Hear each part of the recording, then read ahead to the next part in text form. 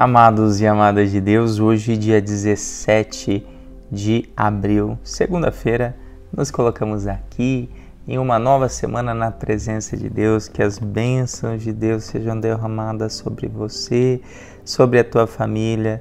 Que mais uma semana a gente se pegue, né, se apegue à palavra de Deus como conhecimento para que a nossa vida seja iluminada por todos os ensinamentos que Deus nos oferece. Em nome do Pai, do Filho, do Espírito Santo. Amém. O evangelho de hoje é de São João, capítulo 3, versículos de 1 a 8. Havia um chefe judaico, membro do grupo dos fariseus chamado Nicodemos, que foi ter com Jesus de noite e lhe disse: Rabi, sabemos que vieste como mestre da parte de Deus. De fato, Ninguém pode realizar os sinais que tu fazes, a não ser que Deus esteja com ele. Jesus respondeu: Em verdade, em verdade te digo, se alguém não nasce do alto, não pode ver o reino de Deus. Nicodemos disse: Como é que alguém pode nascer se já é velho? Poderá entrar outra vez no ventre de sua mãe? Jesus respondeu: Em verdade, em verdade te digo, se alguém não nasce da água e do espírito, não pode entrar no reino de Deus.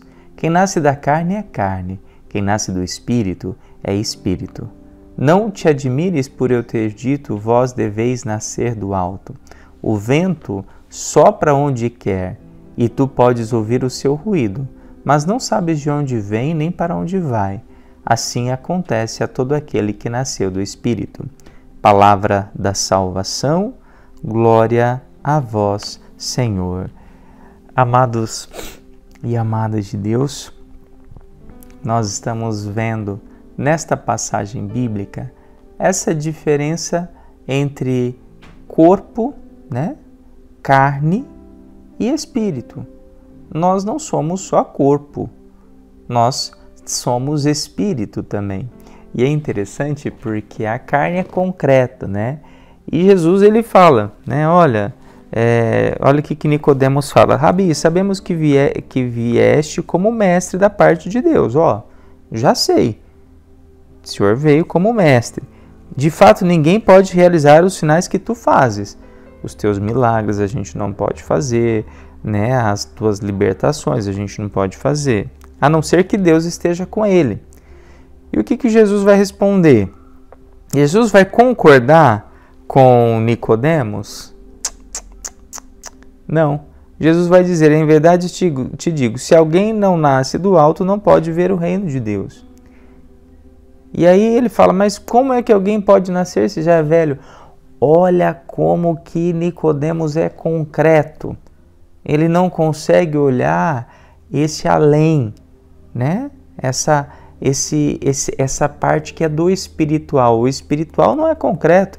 Ele, ao ponto de dizer, poderá entrar outra vez no ventre da sua mãe? Jesus vai dizer, meu Deus, Nicodemos, como que você fala uma coisa dessa? Eu estou te dizendo que você precisa nascer da água e do Espírito para entrar no reino de Deus. Nascer da água e do Espírito, nascer do alto, é a capacidade de vivermos a nossa realidade espiritual. Né? Então eu não vou viver somente a, a parte terrena. Eu não vou viver somente a carne. Não, eu tenho alma, eu tenho espírito. E é diante desse espírito que eu vou ali também buscar na minha vida essa, essa experiência espiritual. Porque eu acredito no céu.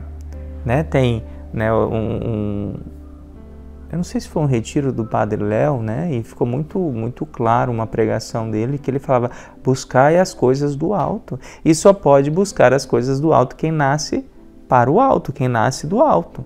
Entendeu? Quem nasce do alto.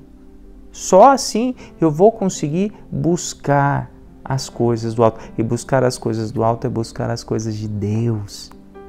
Né? Então, se eu estou vivendo uma vida nova, em Cristo eu estou nascendo do alto. O Espírito Santo está sobre mim. Eu nasci né, do Espírito, eu nasci da água. E aí a gente entende o batismo, né? o batismo que é essa iniciação, né? o batismo que é o, o, o nascimento. Morre o homem velho, nasce o homem novo.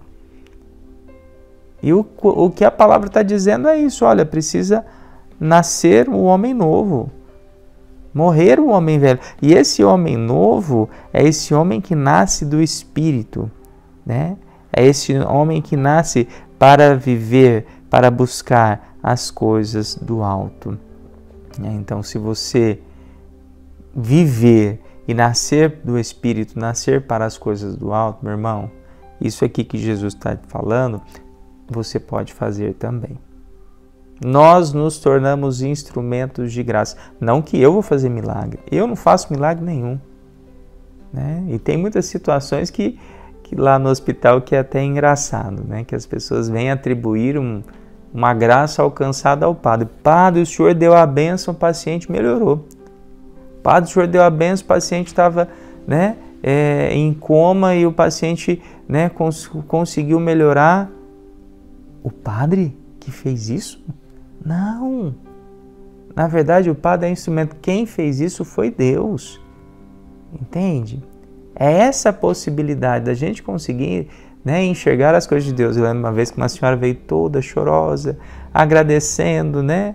Eu falei, ó, vamos fazer o seguinte, vai lá agradecer no lugar certo. Ali é a capela, o Santíssimo, o Sacrário está ali. Vai ali, agradece a Jesus porque essa graça veio de Jesus. O padre é só o instrumento. É o cano enferrujado por onde passa a graça de Deus. Então, nós não podemos fazer, mas nós vamos ser sinais. Nós vamos ser instrumentos para que a graça continue a acontecer. É que você aceite e assuma isso na tua vida. Ser este cano enferrujado. O que é o cano enferrujado? Com todas as os limites mas a água cristalina passa por você. Né? As pessoas serão tocadas tendo você como instrumento de graça. Né? Então, que a gente possa buscar isso a cada dia na nossa vida. Por isso, vamos rezar hoje. Pai nosso que estais nos céus, santificado seja o vosso nome, venha a nós o vosso reino. Seja feita a vossa vontade, assim na terra como no céu. O pão nosso de cada dia nos dai hoje. Perdoai as nossas ofensas assim como nós perdoamos a quem nos tem ofendido. E não nos deixeis cair em tentação, mas livrai-nos do mal.